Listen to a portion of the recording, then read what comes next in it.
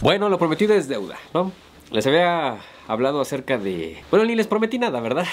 no suelo hacer promesas. Eh, pero les había dicho que pues les iba a grabar un video acerca de lo que simboliza, significa tener el cabello largo, ¿no? En mi caso, pues tengo el cabello algo largo. Ahorita me lo soltaré. Pero bueno, ¿por qué tener el cabello largo? ¿Por qué no? ¿En qué momentos sí? ¿En qué momentos no? A lo mejor este tema da para hacer varios videos porque puede ser muy profundo lo que podamos llegar a comprender de esta situación. Parecería algo absurdo, pero pues vamos a comenzar, ¿no? Con esto de con esa palabra absurdo. Yo les pregunto a ustedes o te pregunto a ti que me estás viendo. O si me están viendo varios en un solo dispositivo, les pregunto a ustedes. ¿Te has preguntado o se han preguntado por qué la naturaleza nos da el cabello largo? ¿Por qué nos da esa posibilidad de que nuestro cabello crezca largo, al igual que las uñas? Digo, eh, vas a decir, sí, porque es desecho, el cuerpo lo necesita sacar, las uñas este, también son desecho, ok, pero ¿por qué? ¿No será porque tiene una razón de ser? ¿Por qué la naturaleza te da pestañas?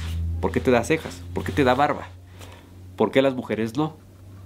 ¿no? Ahí, ¿por, qué sí, por qué no? Con esa pregunta, ¿no sería absurdo cortártelo? ¿Dónde hay peluquerías en la naturaleza? No hay. Entonces, ¿por qué cortarlo? Obviamente el gusto se rompe en géneros y habrá decisiones que unas personas compartan y otras que no. Yo he tenido el cabello corto en varios periodos de mi vida, al igual que lo he tenido largo en algunos periodos. Entonces les puedo hablar desde mi experiencia cómo lo vivo yo y en base a cómo lo he vivido a partir de lo que me he informado, de lo que he investigado. Entonces, por eso es que me he atrevido a hacer este video. No es nada más buscar información y ah, voy a hacer este video porque esto encontré en Google y ahí está, ¿no? No, no, no. En base a mi experiencia, en base a, a mi investigación y pues para que tengan una opinión o un punto de vista, pues de alguien que lo ha experimentado, alguien que sabe de qué habla. ¿Vale? Entonces, bueno, Vamos a comenzar. Bueno, vamos a comenzar con un poquito de historia. ah, historia de la chida, ¿no? De historia entretenida. Bueno, pues resulta que antes nuestros ancestros no se cortaban el cabello. Tenemos ahí, por ejemplo, a una cultura una tribu que a mí me gusta, ¿no? Que pues es la tribu de los indios pieles roja, por ejemplo, ¿no? Todos los indios, ¿no? Pero bueno, para que más o menos los ubiquen cabello largo, cabello largo, ¿no? Y gentes grandotas, ¿no? Y el cabello imponía, digo, si tú le cortas el cabello a un indio, pues bueno, ya los indios actualmente pues están casi extintos, pero si tú le cortas el cabello, ¿cómo se ve? Se ve raro, pierde algo, pierde fuerza. Bueno, durante el largo de la historia, por los periodos de guerras, pues resulta que el cortarle el cabello a una persona, a un hombre, en lo particular que eran las personas guerreras, que también las mujeres entraban en la guerra, pero más los hombres, era un acto de sumisión, era un acto de cortarles su fortaleza, su poder.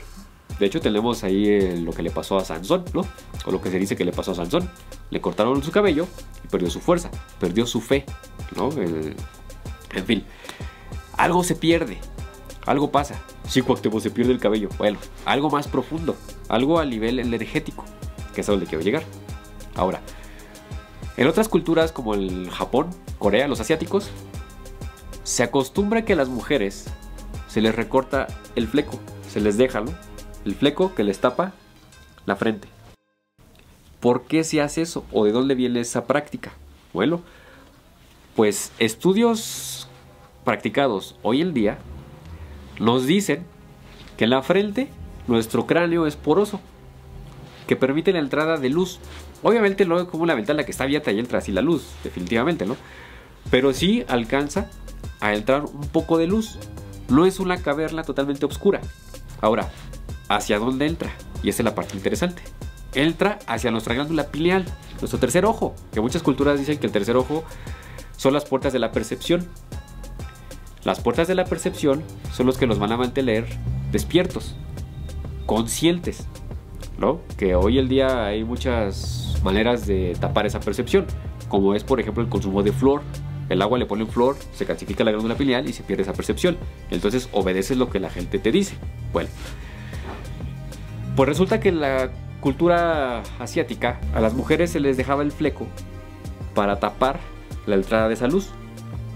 Y entonces poder hacer que las mujeres sean más sumisas.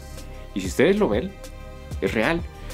Yo conozco varias personas asiáticas, las cuales tienen su flequito, y he conocido, he tenido parejas inclusive que se han dejado su flequito, por moda, obviamente, y vaya que han sido sumisas, ¿no?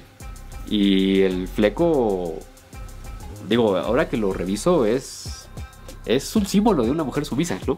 Pero bueno, si tú tienes el fleco así, no te ofendas, pero pues córdatelo y vas a ver que cambia, o recógetelo y vas a ver que cambia tu actitud. Eh, bueno, durante la guerra, en otras guerras, a los soldados se les corta el cabello.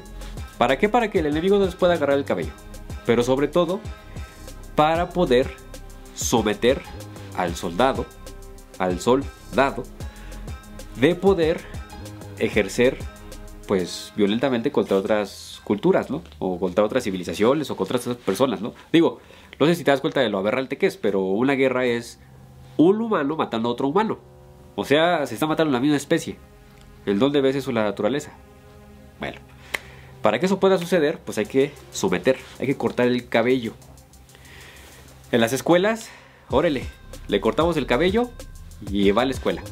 Que hoy se está permitiendo ya tenerlo largo, bueno, ya es una de las cosas tanto positivas, ¿no? De toda esta revuelta inclusiva, que de inclusiva no tiene nada, ¿no? Es todo lo exclusivo.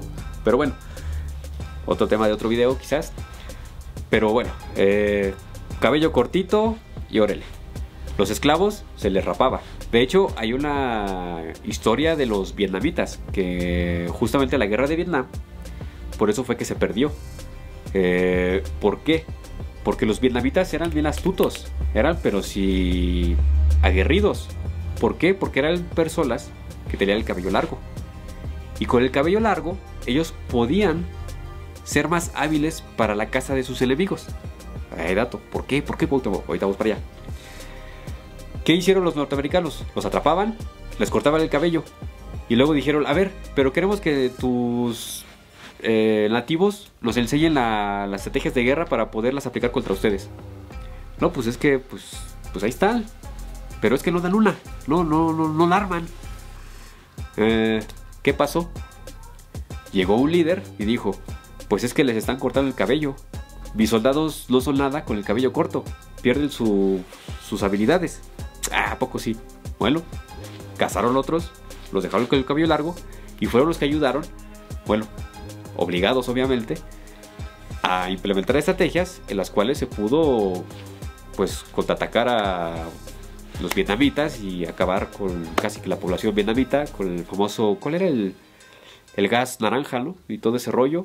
Y pues bueno, ya lo demás es historia, una masacre que no te la ha sucedido, pero el cabello largo, cabello corto, está involucrado. ¿A poco no es una historia interesante? Bueno, vamos a las explicaciones científicas. Y bueno, aquí en la parte científica, vamos a tener que esos estudios los comenzó a realizar un yogi, Yogi Bajan, ¿no? Cuando llegó a Estados Unidos. Ahí si quieren googleen quién fue Yogi Bajan, interesante su historia. Pero él comenzó a explicar el por qué el cortarse el cabello pues no era pues lo mejor para una persona. ¿Y por qué? Comenzó a demostrar, y aquí es donde entra todo un rollo bien interesante, ¿no? Que pues vamos a decir es metafísica llevado a la ciencia. no se dan cuenta de lo que es eso, pero bueno. Eh, vamos a hablar de la energía kundalini. Si no sabes qué es la energía kundalini, googlealo si quieres un video más este, completo de lo que es la energía kundalini, con gusto te lo hago. Pero bueno, la energía kundalini es la energía vital de nuestro cuerpo. Es una energía que circula a través de nuestro sistema nervioso, de la médula espinal y el cerebro.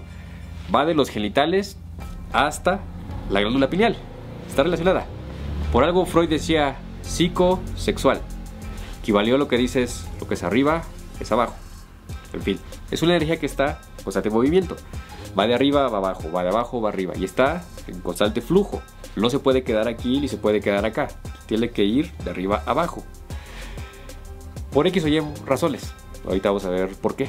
Pero esa energía cuando llega, por ejemplo, a los ángulos de pineal, es la que nos da la posibilidad de tener esa percepción, de ampliar esa percepción, percibir cosas que normalmente no percibirías. Cuando baja, es cuando hay una liberación, por ejemplo, como el orgasmo, ¿no?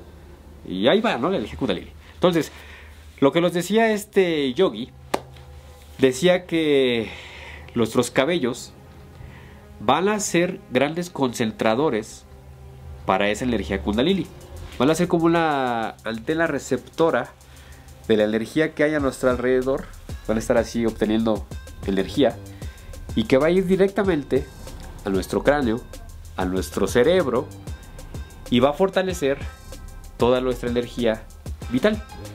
Tiene lógica, ¿no? Yo les puedo decir que sí he encontrado algún este, beneficio, he encontrado diferencia entre traer el cabello largo y traerlo corto, ¿no? Bueno, eso es lo que nos dice. Ahora, nos dice más, nos dice más cosas. Eso digamos que fue a un nivel espiritual. Investiga sobre el Kundalini y vas a ver que está muy ligado a la espiritualidad. Nos habla también a nivel de nutrientes. Y dice que el cabello es un desecho de nutrientes. Sí. Pero hay un punto, hay un momento de nuestro cabello en el que comienza a desarrollar nutrientes, minerales, vitaminas. ¿Puedes creerlo? Yo no lo podía creerlo hasta que vi ahí la información. Miren, por ejemplo, nos dice que nos ayuda a producir fósforo, vitamina D y calcio. Imagínense. Ahora imagínate con un baño de sol. Todo eso se incrementa. Y con el cabello largo, más. Ahora, hay otra yo esto no lo he probado. Sí me he dado cuenta que hay momentos en los que mi cabello ya no crece, se estanca. Pero se dice que el cabello largo crece hasta el largo necesario para la persona que lo trae. Va a haber un punto en el que ya no va a crecer. Ahí se va a quedar como estancado. Y como se tienen las puntas abiertas, va a haber un momento en el que el cabello solito se va a cerrar.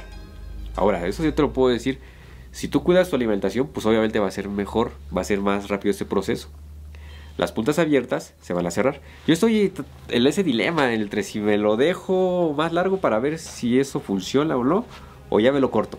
Y ahorita te voy a decir por qué me lo pienso cortar o por qué también es momento, en algunos momentos es adecuado cortárselo.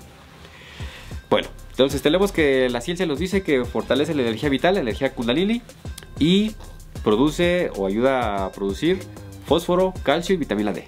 Y es aquí donde nosotros podemos entender como si nos cortamos el cabello, pues vamos a cortar ese conducto energético. No vamos a poder absorber esa energía de nuestro medio ambiente como tal, que ustedes se dan cuenta hasta dónde crece el cabello, hacia el suelo. ¿De dónde es donde más energía kundalini hay? En la tierra. Y eso lo dice Wilhelm Reich, ¿no? En su libro La biopatía del cáncer. Ahí también googleenlo si quieren pero el cabello recoge esa energía y va hacia dónde? Es lo que nos conecta directamente de la cabeza con la tierra, ¿no? Imagínenselo. Bueno, eh, perdemos esa capacidad, esa energía. Y ahora perdemos esos minerales. Pierdes fósforo, pierdes capacidad de concentración, capacidad de pensamiento. Pierdes vitamina D, pierdes fortaleza en los huesos. Pierdes calcio, pues también pierdes fuerza en tus huesos. Entonces, ¿se dan cuenta por qué realmente cortarse el cabello nos debilita? ¿O los impide ser más fuertes? Ahí está la explicación científica. Ahora, también se dice que nuestros cabellos son nuestras antenas que favorecen la intuición. ¿Se acuerdan que les había dicho de, los, de las personas vietnamitas? Bueno, ellos dicen que el cabello largo está muy ligado a la intuición. Si tienes el cabello largo son como las antenas receptoras que te van a decir, ok, algo está pasando por aquí, algo pasa por acá. Y yo me he dado cuenta hoy en día que mi intuición se ha incrementado.